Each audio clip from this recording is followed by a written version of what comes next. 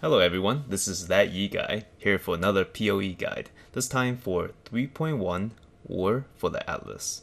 Now before I get started, I just want to say that I hope everyone's doing well, and that you can all stay warm and relaxed during the holiday season. Now with that out of the way, let's talk about Berserker Righteous Fire. Now this build has been around for quite a while, so I'm not really breaking the meta. Uh, personally, I prefer builds that can do good damage, can tank incredibly well, and with the Vaal Pact getting gutted to pieces, I immediately went to test several different characters and skills, and finally decided on Berserker Righteous Fire as the choice for me, at least for starting out as the first build in the new league. Now, this is the build I play a lot, as you can see from the footage. So I, out of all the builds I made for running Uber Lab, this is by far the most relaxing to play allowing me to shield charge rapidly through the entire lab and those, get those sweet loots at the end. Aside from being able to run through Uber Lab completely stress free, this build can also go through Guardians, go through Shaper. I did run into problem in Uber Atziri, mostly because of Vault Trio proving much more of a challenge uh, compared to everything else in the game for me. Uh, normal Atziri is a complete breeze. The extra fire resist allows you to simply stand in almost all of her skills and tank it without any difficulty. Alright, let's talk about items for this build. So for weapon, there's two clear choices above all else. One is Brightbeak. Uh, Brightbeak is a weapon that attacks really fast. And what that does for you is that it allows shield charge to fire off very rapidly, which is going to help you a lot. And since you don't need spell damage, uh, there isn't that many weapons that helps your damage output significantly. So Brightbeak attack damage, uh, attack speed is going to help a ton, and the resist also helps a ton in terms of gearing. Um, another choice once you have of the currency, or once it gets to later in the league, is Doryani's Catalyst. And because you get it, you know, from Atziri, uh, it's gonna be very scarce early in the league. So Brightbeak will serve you really well, well into late game. So it's only when you start running into like super high level content, level tier 15 or above maps, when you start wanting more DPS, and that's when the catalyst becomes more and more useful. And as soon as you're able to afford one, I say go for it if it's within your budget. Um, now for the shield, there's Rise of the Phoenix and Saffell's Frame. Now both of these will uh, give you enough resist to sustain. So I know you're shocked right now because it looks like I have somehow acquired the new Rise of the Phoenix to show you. But if you zoom in really close, you can tell that I actually did it in MS Paint. So I mean it's very subtle like really subtle, but like you can see it if you look for it. But um, eight percent was the old version. Now it is at five percent. So the three percent maximum fire resist hit. Um, while it does not look like a lot, the way it's calculated, it does make degen from Righteous Fire hit you much harder. So some people were actually worried when the patch was first announced that you know Righteous Fire won't be as sustainable anymore. But the footage shown early of the Shaper run, which is provided by my friend Tony, um, he actually ran it with level one purity of fire, and which simulates what your max resist will be after the nerf. So as you can see, it, the sustain during the Shaper fight is not a big problem at all. So if you can get Rise of the Phoenix in the new league, you should be able to sustain just fine. Um, so those are the choices. Uh, I would still highly recommend Rise of Phoenix over any other shield you might possibly get. Um, now for the helmet and gloves, I want to talk about them together because this is the part where um, it involves essence crafting. So essence of horror uh, has, when used on a helmet, can give plus plus thirty percent more more not increase, more elemental damage to the socketed gem. And since um, Righteous Fire is elemental, it will get that increase. So it's effectively make the four link into a pseudo five link, which is fantastic.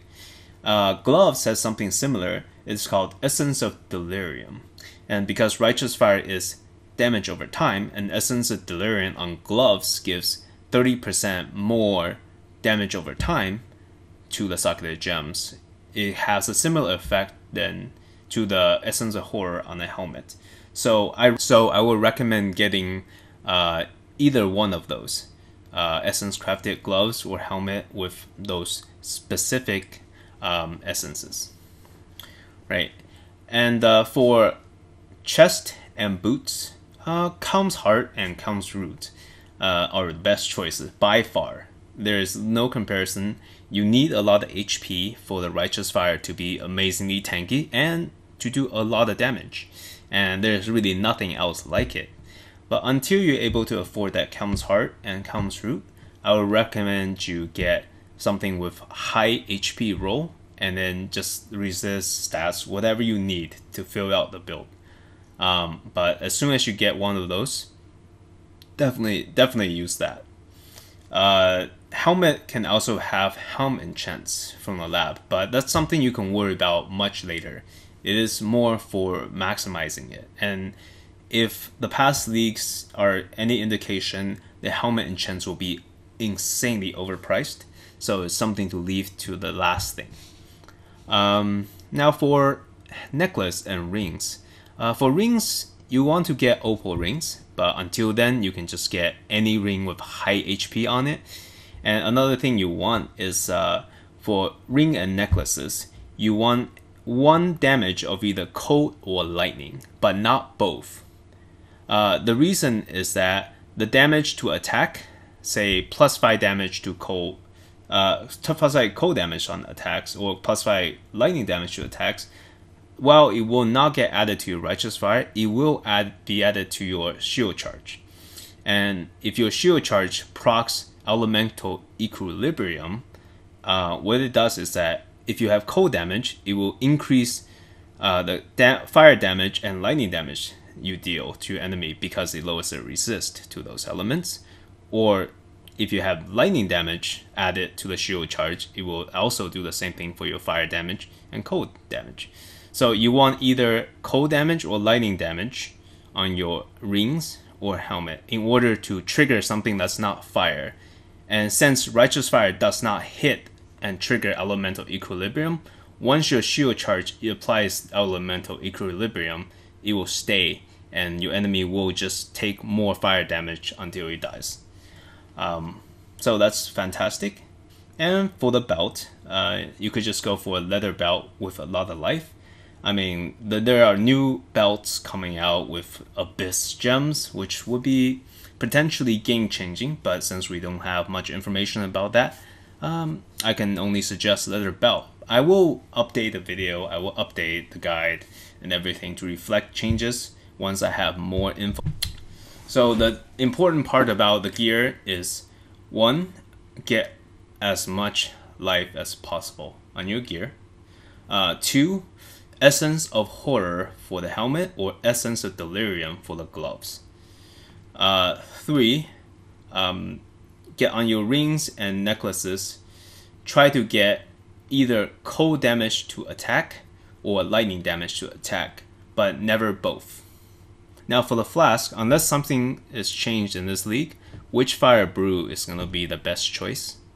And alongside that, Ruby Flask is going to be fantastic because it will give you fire resist. And when you have a lot of maximum fire resist, your natural regen will overtake the degen of righteous fire, allowing you to heal really fast, effectively. Uh, Basalt Flask provides great mitigation, so does Granite Flask.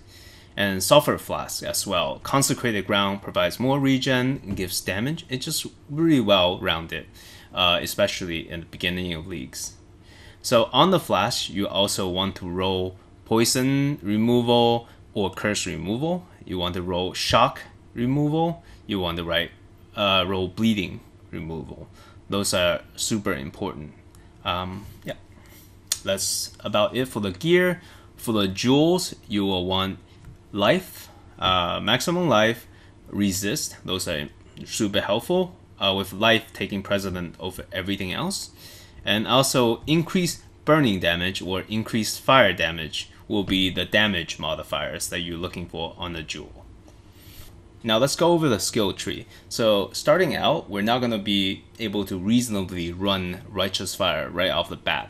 So what we're going to do is level and farm with Sunder, uh, at least until you're able to afford Rise of the Phoenix uh, or other items that you need for the Righteous Fire build. But Rise of the Phoenix and remember while you're leveling, you should try to level at Purity of Fire while you're at it um, because you're gonna need that at the high level to provide that maximum uh, fire resist. So what you want to do is uh, start out here, uh, get some life nodes, go to the left, Warrior's Blood is a great regen node. Underneath in the path of building, I've typed in regen. This will highlight all the regen nodes you will need to hit uh, by the time you get ready to go to Righteous Fire. So now you take this and then you go all the way up to Born to Fight. Born to Fight is super efficient and you should take it as early as possible. And if you ever at any point during the tree you feel like you need more damage, go ahead and take some increased melee physical damage nodes just to increase the Sunder uh, Sunder damage. It will also inc- just increase your output drastically.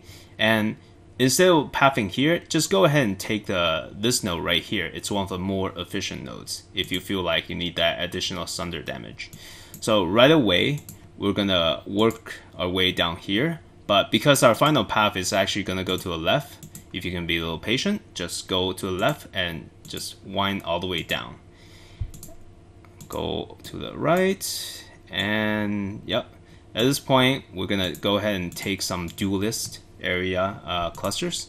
There's some efficient life nodes. Take all the way to Art of Gladiator. And now, depends on how you're sundering. If you're two-handed sundering, uh, go ahead and take these damage nodes. Uh, if you're dual wielding, uh, definitely take these specific damage nodes. Uh, dual wielding will tend to be easier, so that would be great. And go ahead and take go right and take Golem's Blood. This is a major life regen cluster that we're gonna absolutely want in our build. So go ahead and take that. You can go ahead and take the life behind it, or you can focus on damage first. Uh, at this point, the tree you want to go to the left, go up, up and around. And this one gives you life regen, but it's also a fire damage node. It's not efficient until you do a lot of fire damage. And since we're sundering, that's not super important initially. Uh, we can take this cluster, however, because it is quite efficient uh, in terms of life and regen. So and armor. So earlier on, that is going to help. So might as well, right? Uh, we go up and go ahead and take sanctuary and take discipline and training because it's just such a fantastic life node cluster. Now we go right. Notice I'm passing a lot of jewel sockets, so don't put any points in a jewel socket until you get the jewels put in them. But if you do have access to them, then definitely go for it. Uh, I'm gonna go down and take Constitution. At least we're eventually gonna fill up the wheel, wheel but uh, Constitution is really good early on. And we go up, and something to keep in mind, I mentioned Elemental Equilibrium early on. We're gonna eventually want to take this, but for now, definitely skip it. Until you get to Righteous Fire, do not take this node. Um, go up and take this cluster of uh, really efficient regen nodes. That's going to help you.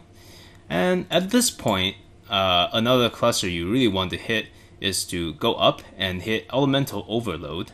But once again, this is something you only care about once you get to Righteous Fire. So another cluster you want is Holy Fire. This is a lot of burning damage. Uh, once again, while you're sundering, don't worry about it. So at this point, uh, we hit a lot of regen nodes.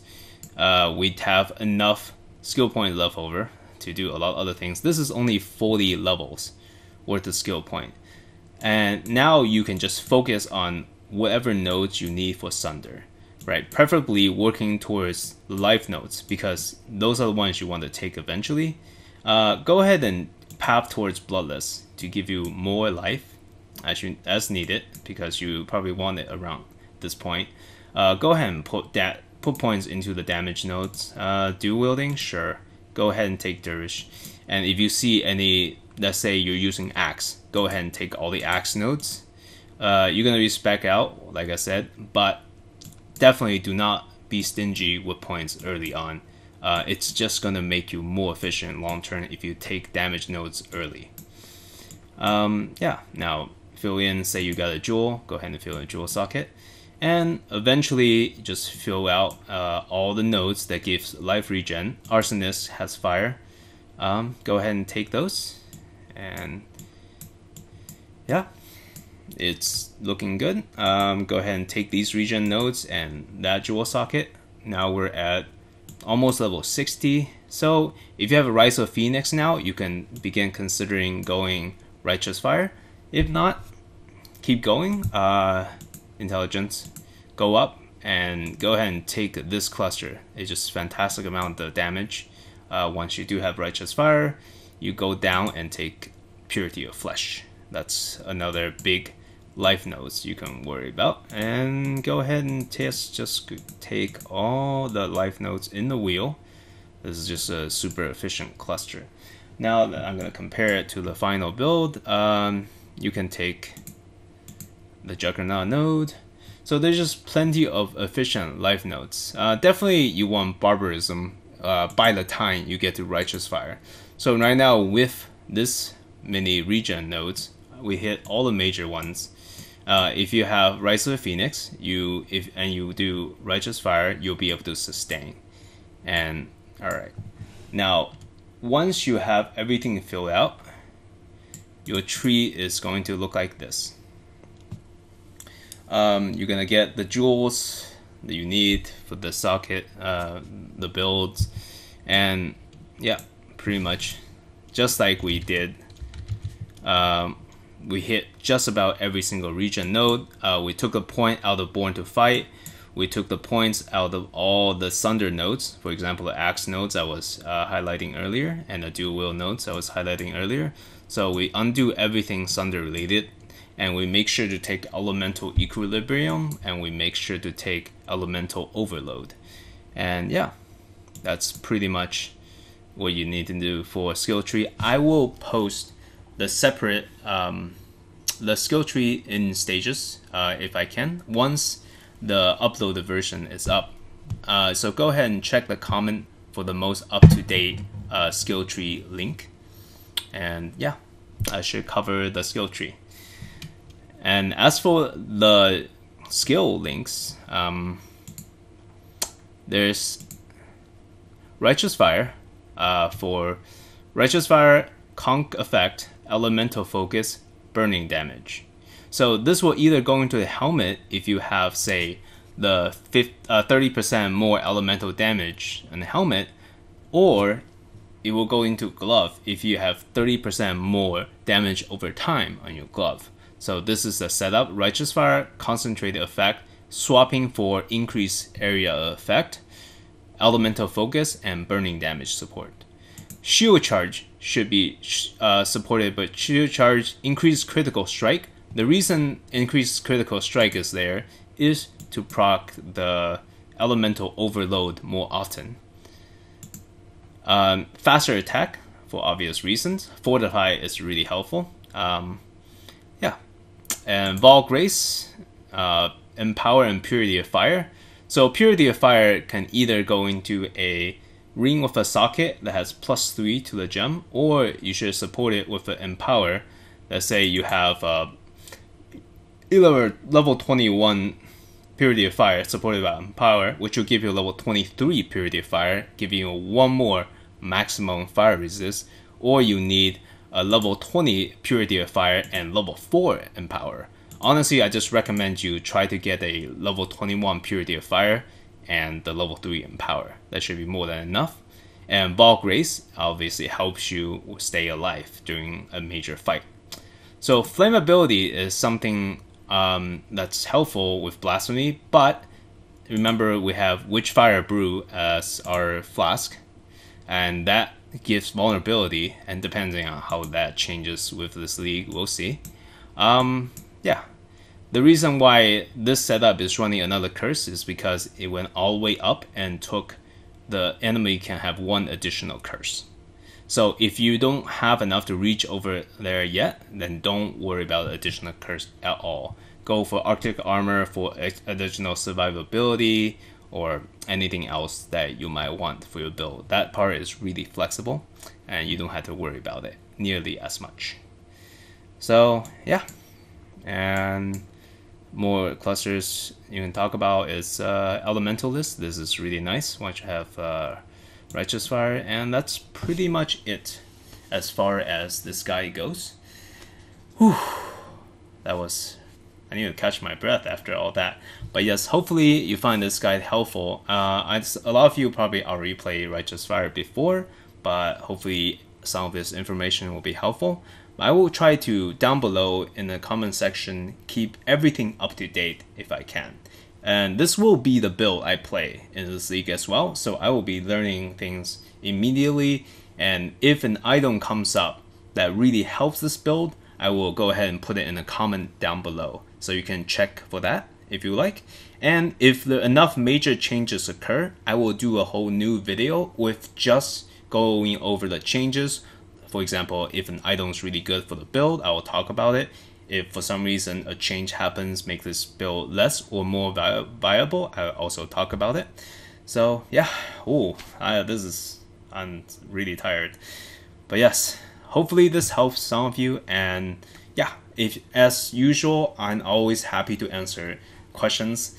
In my past videos, plenty of people ask questions. There's like some videos with like 50 questions down below, and it, you can probably check, and I've tried my best to answer every single one of them. So if you have questions, please leave them down below, and I will do my best to get to it. But you know, I work pretty hectic schedule, but I have this a week off to play Path of Exile, and if I'm too devoted and I'm late to answering your questions, I apologize in advance. But anyways, I hope you all. Uh, I wish you all good luck in the Abyss League, and whew, I I know I need some RNG. So yeah, I hope you all get all the epic loots. And uh, yeah, this is that Yi guy with a Righteous Fire 3.1 guide. Whew. Thank you so much for watching, and I will see you.